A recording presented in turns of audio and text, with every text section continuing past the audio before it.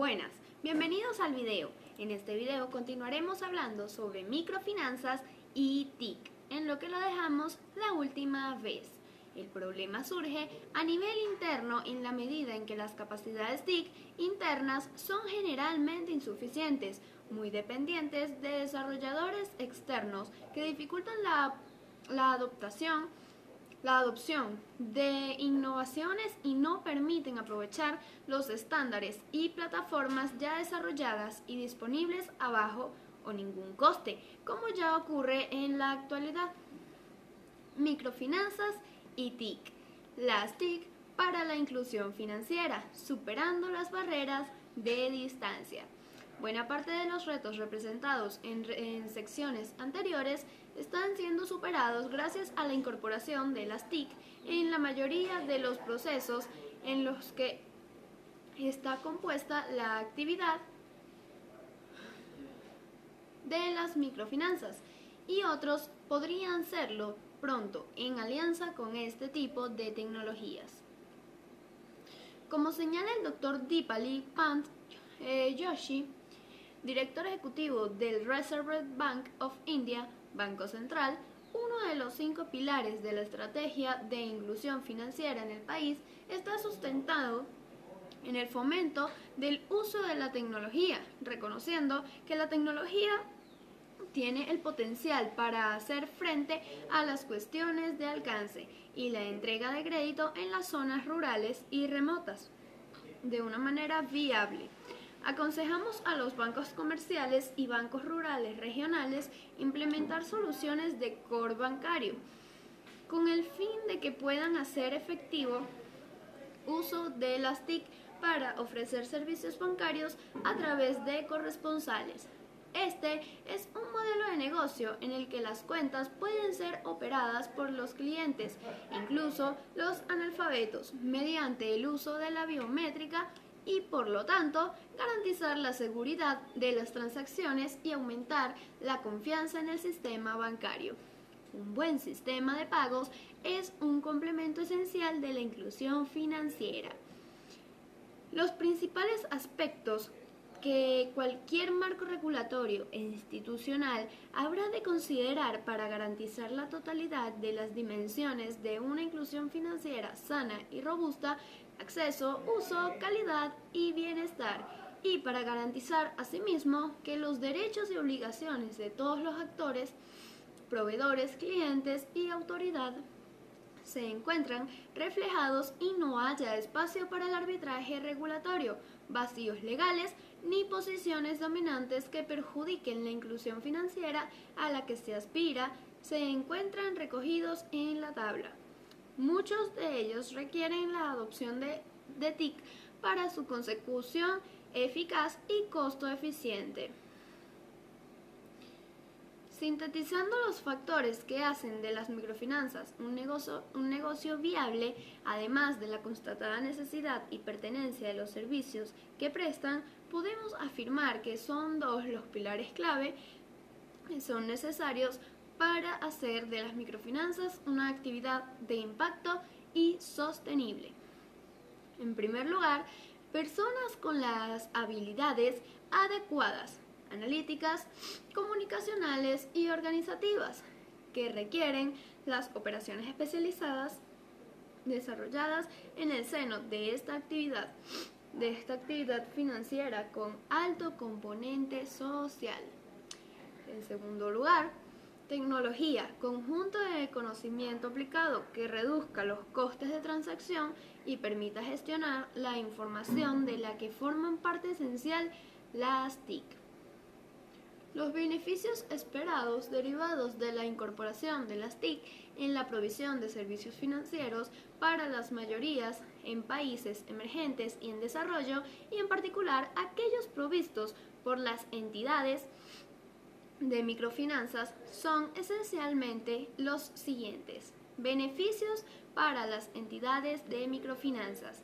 Menores costes de transacción derivados de la mayor eficiencia de los procesos menos fraude, derivado del mejor control interno y menor uso de efectivo en las transacciones, mejor calidad de información financiera, fruto de una mejor captación, almacenamiento, gestión y análisis, mejor desempeño y procesamiento de la información, mejora, del alcance, mejora de la imagen, mejora de la satisfacción y fidelidad del cliente.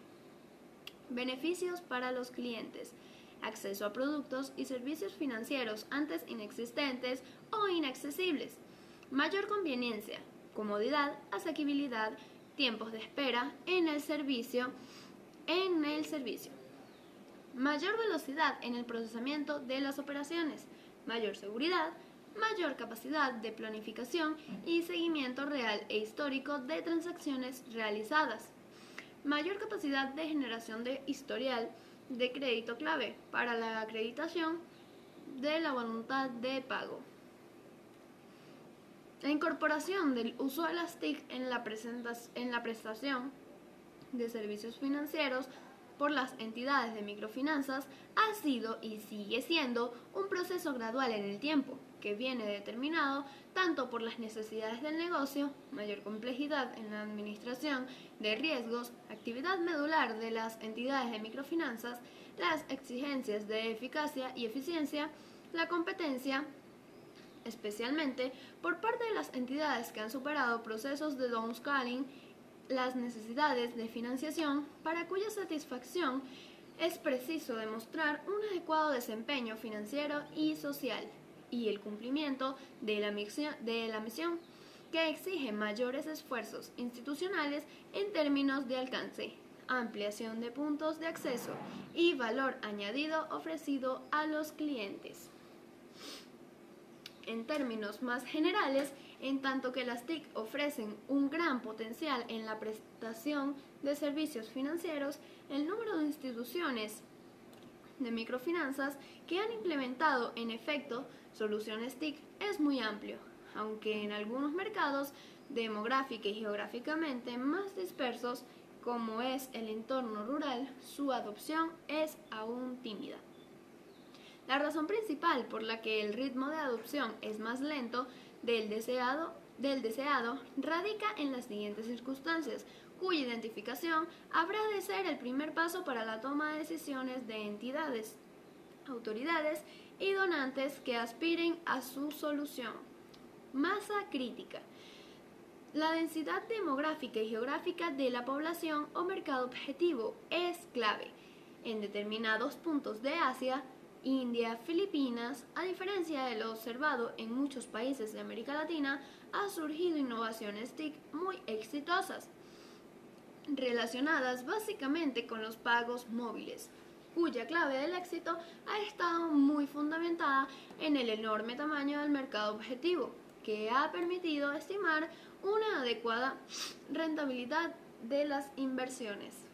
La solución en este caso puede pasar eh, por la búsqueda de alianzas y de sinergias entre entidades de microfinanzas o entre otros agentes, administración pública, que permitan escalar y abarcar un mayor número de clientes o usuarios potenciales.